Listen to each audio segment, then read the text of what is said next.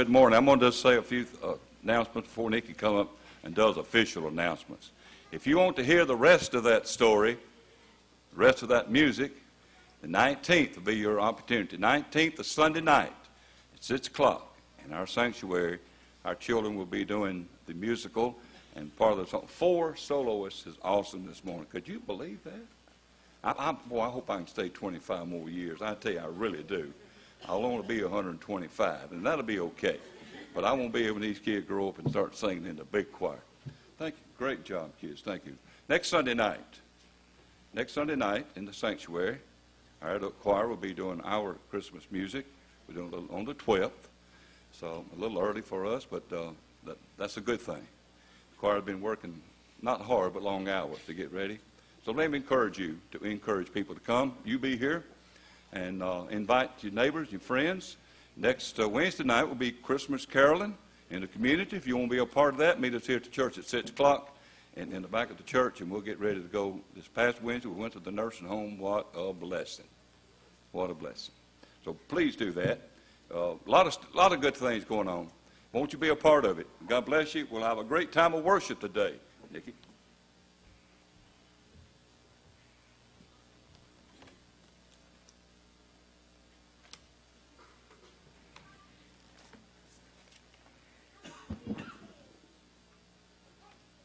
Good morning. Oh, come on, a little bit louder. Good morning. Good, yes, much better. It's good to see y'all this morning. I want you to say good morning to someone by winking at them. Go.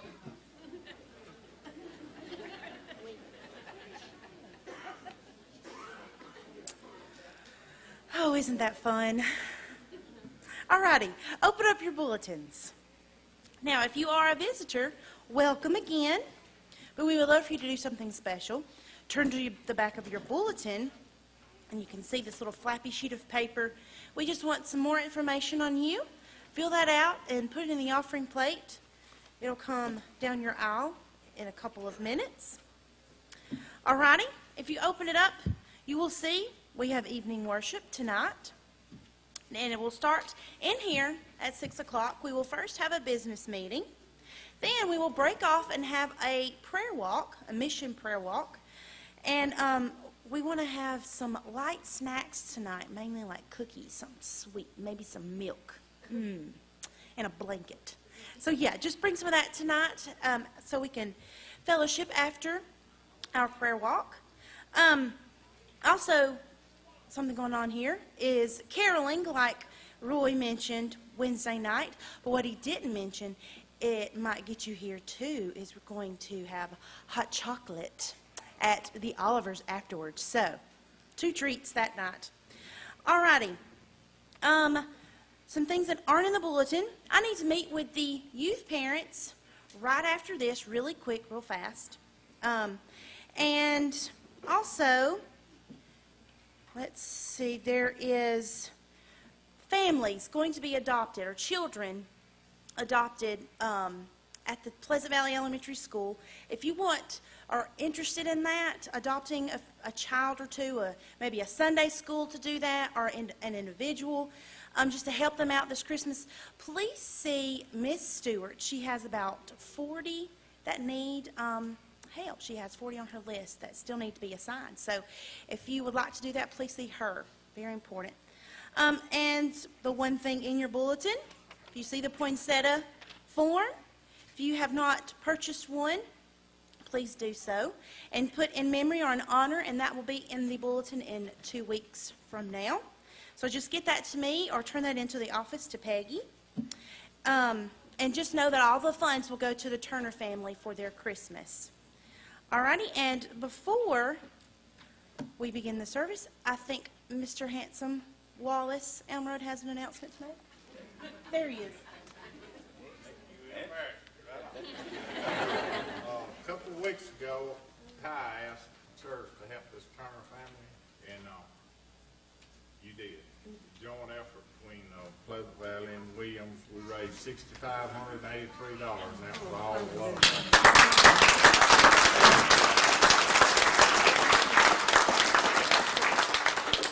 And that, you know, I'm just proud I'm a part of this community and this family. That, a lot of us didn't even know these people, and, and they're so grateful. I mean, it, you just had to been there and seen it. But thank you again for doing that so much. Alrighty, thank you, Wallace. Alrighty, so now it's time to find that person that you winked at earlier and you're going to give them a hug, okay? It's going to be some loving. Let's warm this place up and hug each other.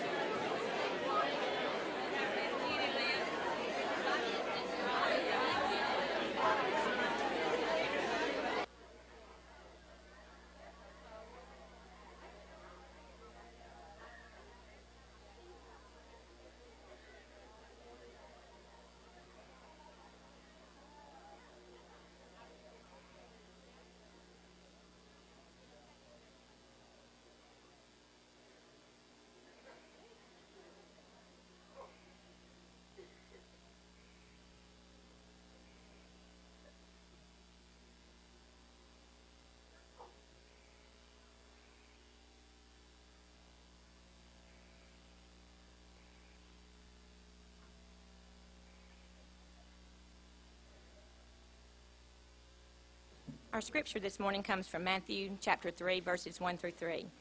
In those days, John the Baptist began preaching in the Judean wilderness. His message was, Turn from your sin and turn to God, because the kingdom of heaven is near.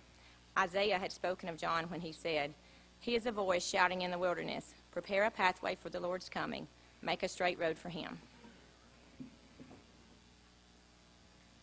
Okay. Well, good morning again. Well, it's that time of the service where you have an opportunity to join in and sing and join in our, our caroling and singing today. uh, as we prepare ourselves for worship, and that will have the Advent and then a lot of stuff that's going on. So 123, O come, O come, Emmanuel. One, two, three. Let's stand. Let's do first, second life standards.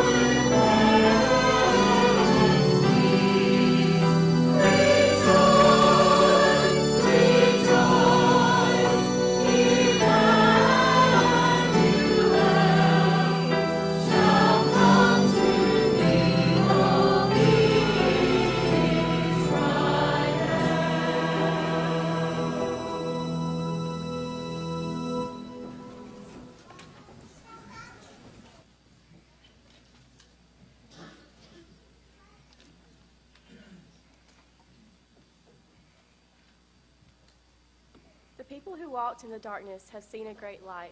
Those who lived in a land of deep darkness, on them the light has shined. This is the second Sunday of Advent. Today we light the angel's candle that represents peace. Scripture tells us of the angels who sang about God's peace offered to all people through Jesus Christ. This is the peace that surpasses all understanding and guards our hearts and minds. Imagine hearing angels sing.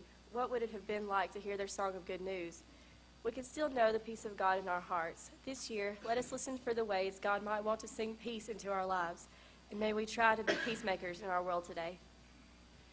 Glory to God in the highest, and on earth peace, goodwill toward all. Luke 2:14.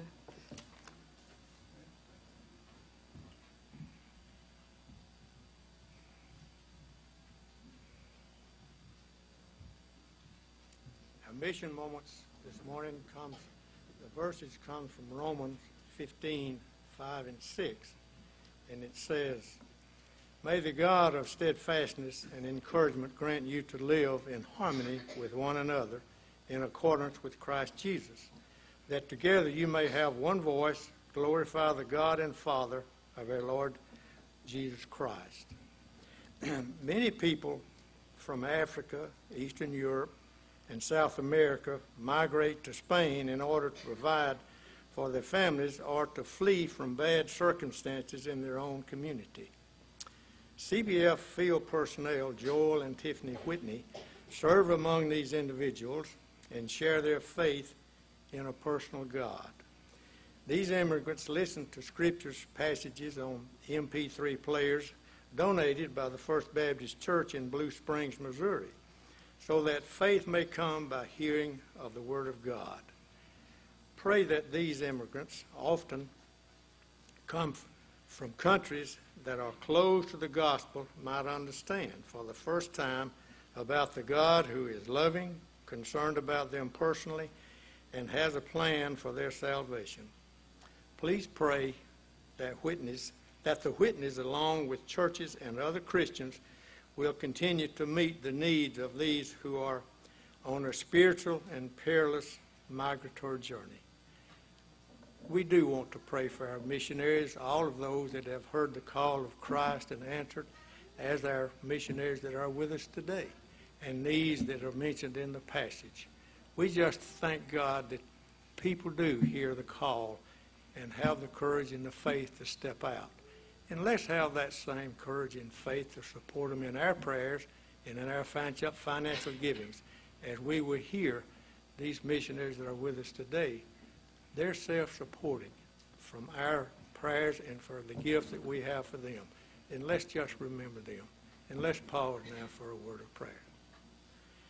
Heavenly Father, we come this morning so thankful for this time that we can gather again in your house to worship our Lord and Uh, Jesus Christ. We do, we do thank you for his love for us all, that we might all understand the word and pass it on to those that do not understand. Father, give us faith and courage to go about each day doing and being what you'd have us to be.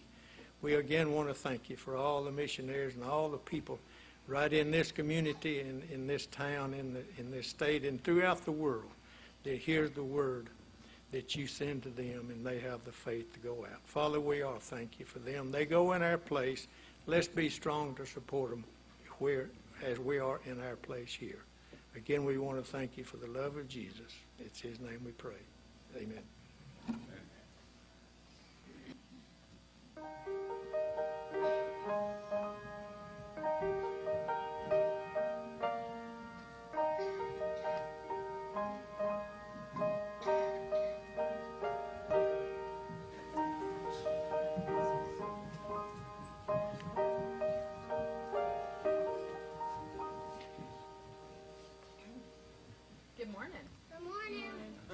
Did a really, really nice job singing this morning. We really enjoyed that.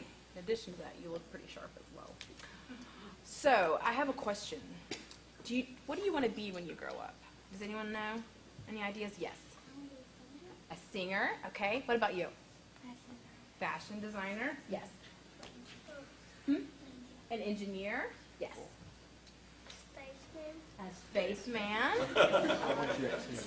That was actually Blake's. That, that was what he wanted to be when he grew up. Actually, a lot of things. That was what I wanted to be when I grew up. okay, well, uh, you know, Blake and I are. Um, we're going to be missionaries in Chile. Um, but just because you all don't want to be missionaries for your career, that doesn't mean you can't be missionaries. Because right now, I'm a secretary and Blake is a finance assistant. And we are still missionaries, even though we haven't moved somewhere strange and foreign. Um, in our daily jobs, we're able to, to be missionaries. We're able to show Christ's love to people. And we're able to, um, to do his work, um, to love people. And that's something that we can all do, even if we're students or if we're senior citizens or whatever we are, we can love people and show people Christ's love in us. And so I just want you to know that whatever it is that you decide to be when you grow up, and if that changes a bunch of times, like it did for me, God can still uh, be present and you can still be a missionary even though you're not a missionary in title. Um, let's pray together, okay? Dear Lord, I thank you so much for each and every one of these boys and girls and these young men and young women, Lord. I, I thank you for their hearts, Lord, and I thank you that they are your children. Father, I pray that you would Uh, be with them and guide them through every step in their life, Lord. That it would glorify you, Father, and that they would become who they are meant to be in you, Lord. I thank you again for each one of them and for what they mean to you and for what they mean to this church. In Jesus' name we pray. Amen.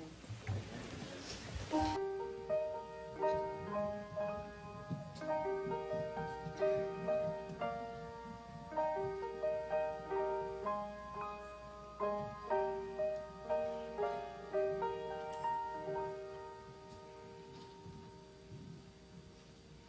righty. Thank you. Thank you, children.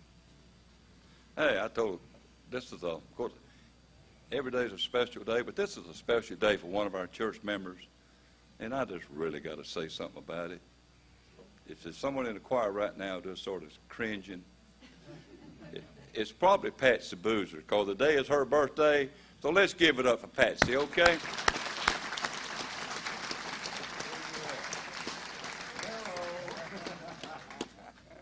That's great. 138, Go Tell It on the Mountain, be the offertory carol for the morning. We're going to stand, we're going to sing all three stanzas. 138.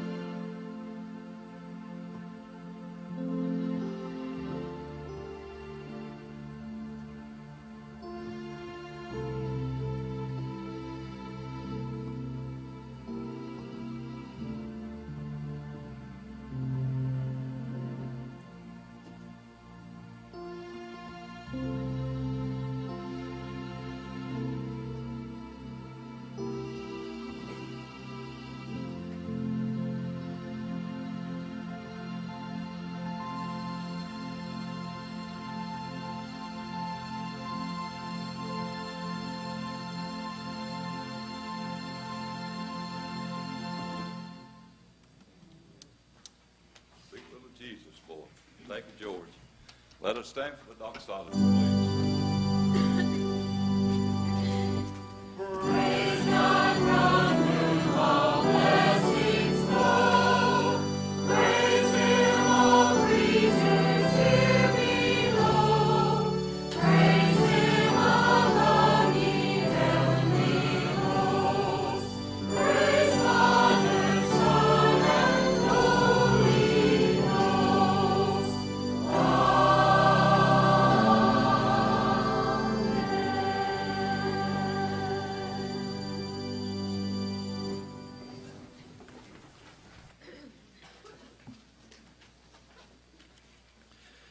It's my privilege today to introduce our speakers, uh, missionaries from the Cooperative Baptist Fellowship, Blake and Bekah Hart. We welcome you to Williams. We're glad you're here. We already had a wonderful time uh, listening to their stories and their expectations for their uh, journeys and their mission work in Chile. Uh, during the Sunday school hour, they'll share some more about that and about other things related to missions this morning. Uh, as you all know, at uh, Christmas time, we celebrate the birth of Jesus Christ, the coming of Jesus into the world, which is part of God's great mission to share with us the good news of how much God loves all of us.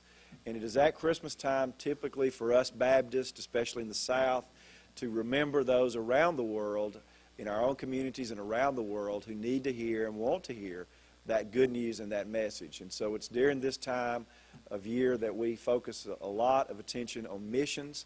Uh, tonight we'll have a prayer walk as we go through and have the opportunity to walk through different places in our church, hear stories about missionaries and missions and so forth, and then uh, pray for them and the peoples that they work with. Today we're very blessed to have two newly appointed Cooperative Baptist Fellowship missionaries who will be going uh, to serve in the desert uh, in northern Chile with the Aymara people and uh, very excited about that. I don't know. I was talking to them afterwards. They're from North Carolina. Uh, met at the Baptist Student Union at Mars Hill College and uh, and all that. I'm thinking, you know, of all the places to go in South America, he showed us a satellite picture of this little tiny place uh, in the desert in the northern part of Chile. Uh, I had never heard of. They have it spelled out in rocks so you can see it from space. Uh, it's just a tiny little place uh, it reminded me of the Christmas story of Jesus and our children singing so well for us this morning. Uh, what are you, the King, the Savior, doing in a place like this? Uh, I'm proud that we have people who feel called and are answering that call to serve in places like Bethlehem and in the deserts of northern Chile. Uh, and we're looking forward to getting to know you better. We welcome you here and offer our blessings to you and your ministries. By the way, Blake will be graduating from the McAfee School of Theology, a school we support and have supported for many years as a founding church. Uh, also, he'll be graduating with Brandon Tubbs, uh, who's from our church, and y'all know.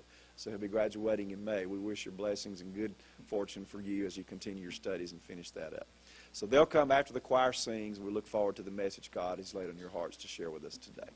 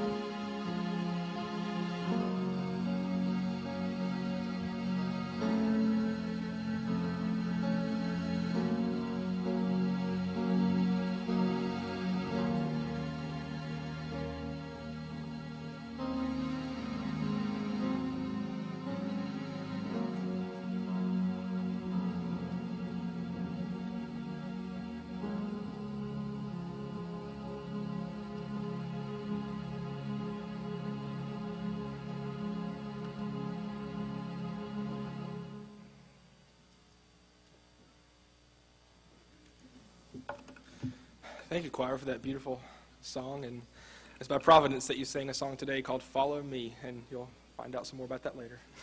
Uh, thank you all very much for, for having us here and for your continued and faithful support of the offering for global missions and for the ministries of the Cooperative Baptist Fellowship. Um, through those gifts and offerings, uh, we have been able to stand in solidarity with the poor, the oppressed, uh, to offer the good news of Christ's kingdom to those who have never heard it before, and to offer the peace of Christ in some of the world's most tumultuous situations. And so, so we're very thankful uh, for your ongoing and faithful support. Um, today we want to sp- speak a little bit about call, and that seems to be the age-old struggle of the Christian. What's God calling me to? What's God's will for my life? I remember worrying year after year through high school and into college about what God wanted me to do. What did God want me to become? And so I'm pretty sure that there's someone here who is struggling with that question. Perhaps a youth who's nearing graduation, looking to what's ahead. Perhaps you've lost your job and you don't know where to go next. Or maybe you're just discontented with where you are and you're just wondering if God has called you to something more, if you're missing out on what God has in store for you. But I've come to wonder if maybe we're missing the point. Maybe we're making it more difficult than it really is. Is God's call really to this place or to that job? Or is God's call at its core simply to follow Christ? As I look back on my life, I can really see how this was the case in my, in my experience. I do remember when I first uh, felt and expressed a call to ministry. I was in the youth at my church in Swannanoa, North Carolina. And a missionary from West Virginia came and, and shared stories. He worked in the impoverished coal mining areas. And he shared stories and pictures and spoke of their need. And it wasn't just stories of material need, but the need to feel loved, to know that someone actually did care for them, that they weren't forgotten. And it was because of that experience, because of those stories, that I walked the aisle of my church and let the pastor know that I felt called into the ministry. Of course, I didn't want him to tell the con- congregation that, just in case I heard wrong or in case I wanted out of it later on. Um, but from that time, I didn't think about it much more. I tried to follow Jesus as best I could, but by the time I finished high school, that call was not in the forefront of my mind. I headed to college to study music education, and so once I arrived at college, I got to know other Christians on campus. Um, in high school, even though that call to ministry kind of faded into the background, my identity was still mainly formed around my faith, around Jesus Christ. And so it was only natural when I got to college to seek out the Baptist Student uh, Union, the Baptist Campus Ministry. And through that, I learned of an opportunity to serve summer missions uh, through the State Baptist Convention. And so I signed up and I became a youth minister at a small rural church in North Carolina. And that was one of the best summers in my life. I felt like I was alive working with the youth, taking them on trips, teaching Bible lessons. It was amazing. And that call was rekindled at that time. But I'm also very stubborn. So even though I added a religion major to my plate in college, I still refused to let go of music. And it wasn't until my senior year that I finally completely dropped this, the music major and had a very large music minor. Um, and the reason that I decided to do that was because I realized that music became a chore. I still loved music, but, but the classes, the ensembles, it was a chore, and my joy was not in that anymore. And at that point, I was working in a local church. I was a part time youth minister uh, at a church in Weaverville, North Carolina.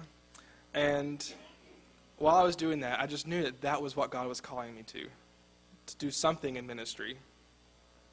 At the same time, through the Baptist Student Union, uh, we were able to go on various short term mission trips. We went to Baltimore, went to Gulfport, and finally we went to Honduras. And through all those mission trips, and through my work with that group, that youth group, I was continually confronted with images of need and the more I saw, the more I knew that that was what God wanted me to do. That I could not see that and turn my back on it anymore. So after graduation, in an effort to stop speaking about faith in my classes and to start living it, I took off to Ecuador to take part in a 10 month uh, mission endeavor um, to work alongside an Ecuadorian pastor to help him with pastoral training and, and lay leadership development. Uh, we were trying to implement a house church model in the area, and so for that to survive, it's imperative that you have a lot of leaders who are called up from the people.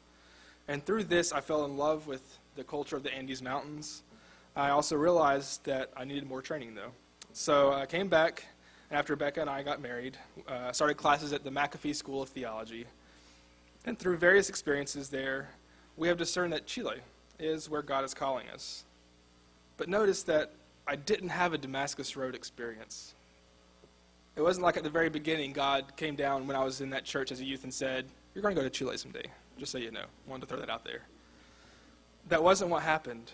Instead, it was just my daily walking with Christ.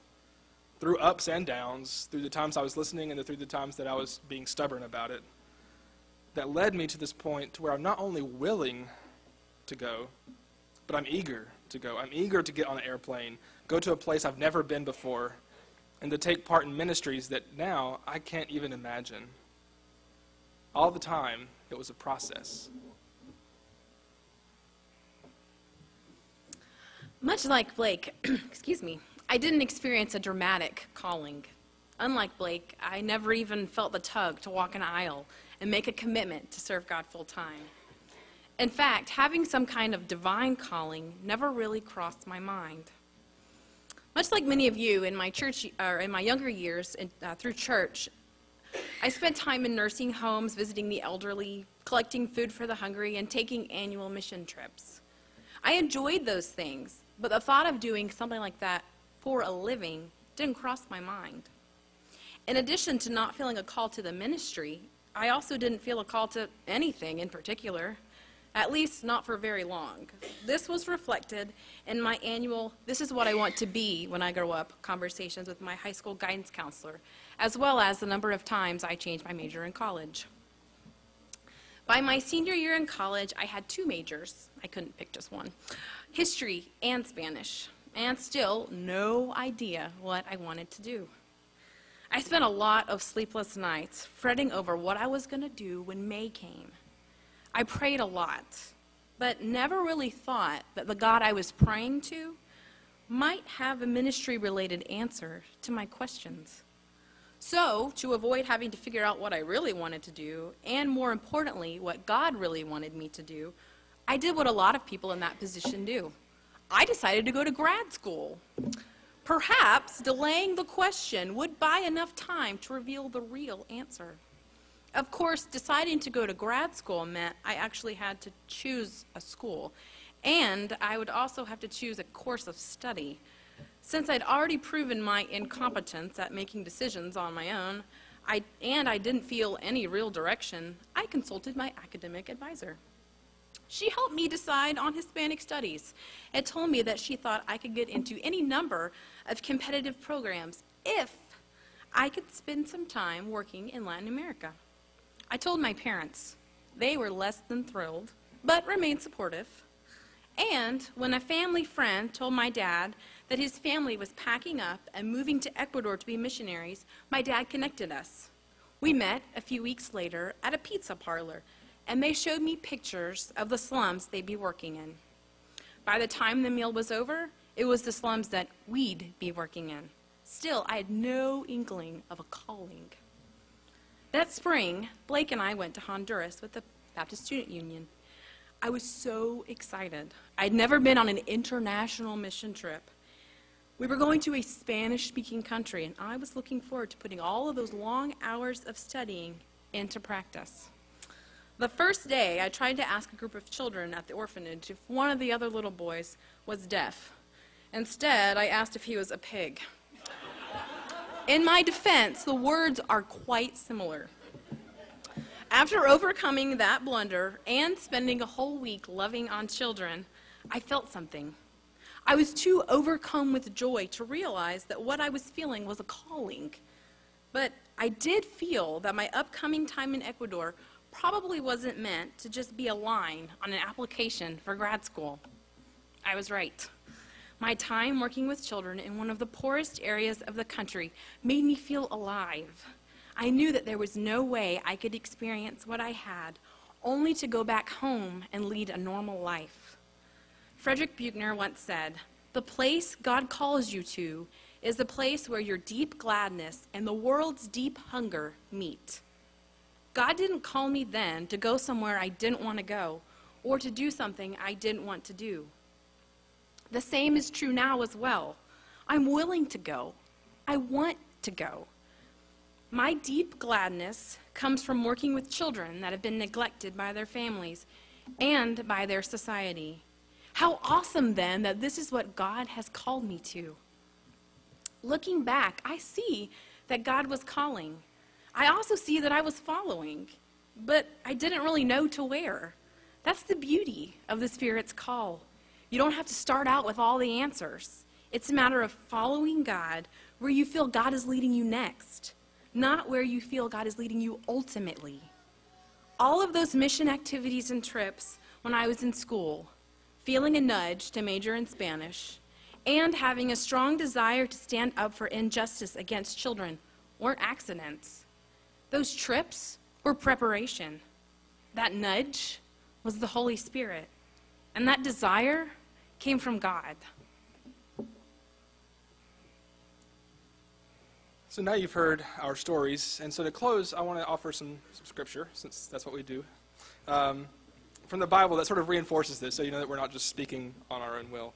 Um, and so I want to talk about in Matthew's Gospel, uh, we find something very interesting about calling, and it's that whenever Jesus calls his disciples, he says one short sentence Follow me. On the sh- seashore with Peter and Andrew and James and John, it's just follow me. When he comes to the tax collector table with Matthew, it's, it's follow me. And that's all it is. It's to each and every one of us also. It's, the call is simply to follow Jesus. I mean, could you imagine if Jesus had approached Peter, calling him to what he would one day become? Can you see the scene on the shoreline? Peter, I want you to stand up to the Sanhedrin. I want you to tell them that they are wrong and that they should believe in me. They'll flog you, of course, but you should keep on preaching because after after all, you will found my church. And so, just in case you know, the church is a group of believers who follow me. Uh, you do know that, don't you? Because you see what Peter's response would have been to that? Um, you mean me? I'm just a fisherman. How on earth do you expect me to do that? But see, that's the beauty of it. God did all those things through Peter. Peter is known for his courage, he's known for his ability to preach, and he is known for founding the church. But he got to that point through following Jesus day by day, learning about the kingdom of God, learning what the kingdom of God was all about, and learning how to believe in that kingdom. In essence, that's what, we, that's what the call of Christ means for all of us. It means that we, first of all, have faith in Jesus, we believe in him, and that we then act upon that faith. We learn about him, and then we become witnesses of who Christ is to the world. And that looks different for all of us. The trajectory doesn't always lead to going off to some other country to serve Christ. It doesn't always mean going to seminary and becoming a minister. It does, however, mean being so transformed by Christ's working within us that our lives become the transforming presence to those around us. Take, for example, the two tax collectors that encountered Jesus. First one is Matthew. Jesus himself comes to his tax booth and says, Follow me. And Matthew does it. He gives up everything and follows Christ. He learns about Jesus, learns to act like Jesus, and eventually becomes one of the 12 apostles of the early church. The other example, however, is Zacchaeus. Zacchaeus hears that Jesus is coming to town. He climbs a tree to get a good view. And when Jesus sees him, he calls him out and says that he will be sharing a meal with Zacchaeus. Zacchaeus is so transformed by this encounter with Christ that he pays fourfold back those he had cheated, and he gives half of his possessions to the poor. And then what does he do? He continues being a tax collector. He doesn't get up and follow Jesus to some foreign place, some distant calling, because that wasn't God's call for him. That was God's call for Matthew. Zacchaeus' calling was to be a just tax collector. And that's what he did. He was so transformed by Christ and, trans- and, and transformed the way he acted in his business. I assume that led to many ministry opportunities. Imagine when he gave back the money to people he had cheated. what doors that opened. Or when newcomers to the area were surprised that this tax collector only asked for the money that the Romans required of him to ask.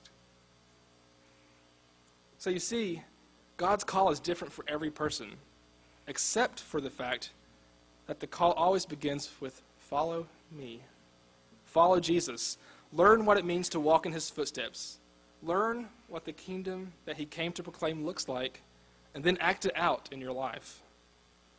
For some of us, that will lead us to hard places, because that's where the world's need and our passions intersect. For others, you will be called to stay exactly where you are, living a transformed life, so that those near you can see Christ. Thomas à Kempis says, Let this be your whole endeavor, this your prayer, this your desire, that you may be stripped of all selfishness and with entire simplicity follow Jesus only. That's our calling to follow Jesus, to be disciples, to make disciples, and to live in God's kingdom on earth as it is in heaven.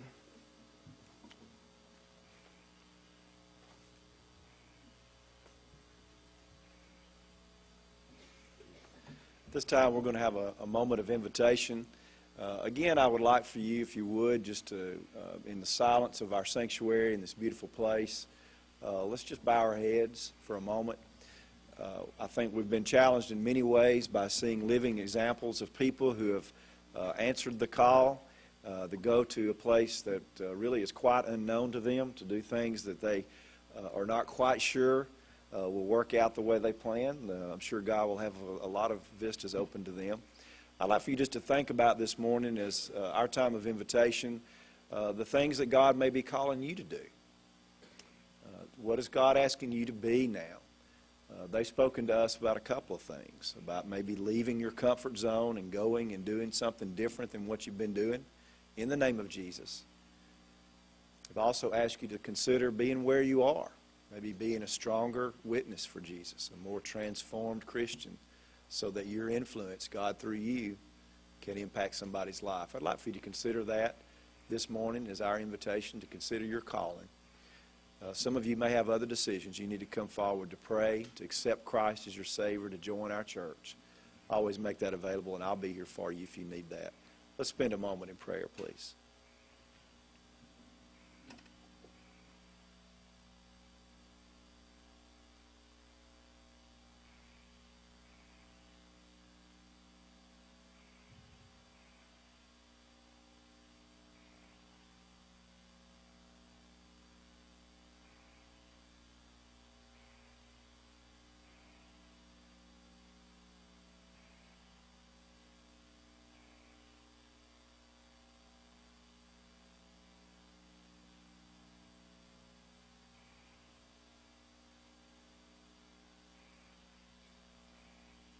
Thank you, God, for hearing our prayers.